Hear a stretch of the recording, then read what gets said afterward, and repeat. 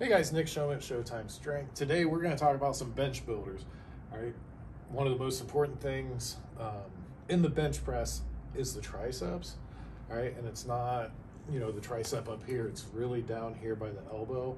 And the reason is when you get going here, what do you think's locking out that press? All right, you have to keep being able to apply force, pushing through that weight, extending the arm, which is flex, flexing the tricep.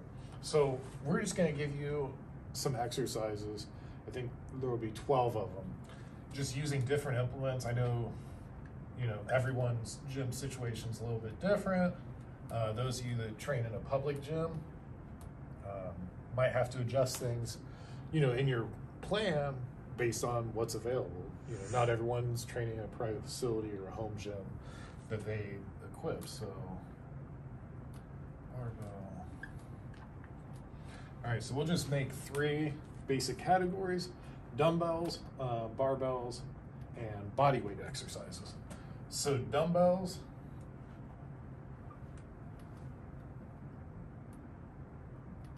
Uh, dumbbell rollbacks and all that is is where you're on a bench.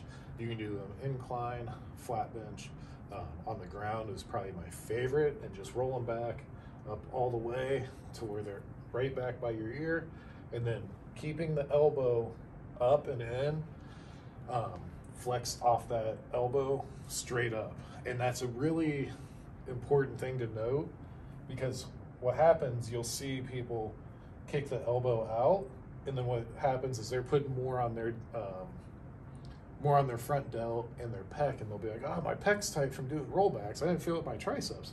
Well, you got to keep the tension on the triceps, and also if you drop the elbow, now you're just turning it more into a press.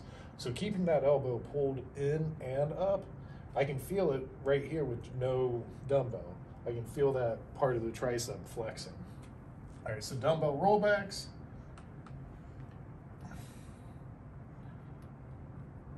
So elbows out extension, so that's where you take the dumbbells like this and then just pull them apart. Same thing, keep the elbows straight out to the side. Don't let them drop, don't let them come down in. Um, that's another great builder.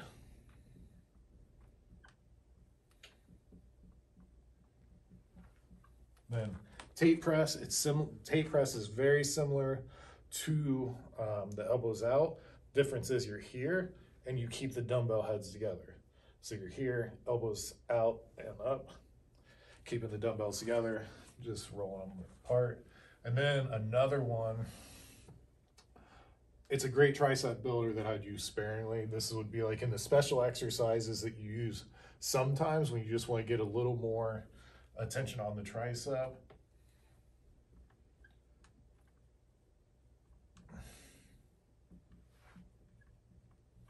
All right dumbbell rollbacks uh, with a mini or monster band. So put a dump or put a band in your hand, wrap around your upper back so it's running right across the back of your arm. Grab dumbbells and then do your extensions that way. All right. We all know bands get more tension as they increase, as they're stretched out. So as you're getting into that locking point, you can actually increase the tension just on that. All right. Barbell, tricep extensions, just basic old school tricep extensions, nothing. But the thing I see people not doing when they're doing barbell tricep extensions, it's like they put like 10 pounds on each side. Like, no, go heavy. I've seen people use three, 400 pounds on tricep extensions. Just same thing, elbows uh, up and in, and just go heavy. Work these into sets of eight to 15, but you should be able to push the weight on those. Uh, JM press, take the bar down, let it flow back a little bit, and then just think about flexing right off that elbow. Um,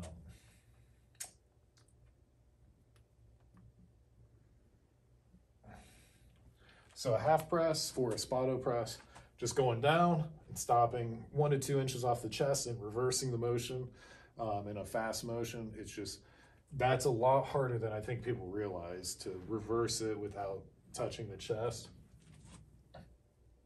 Then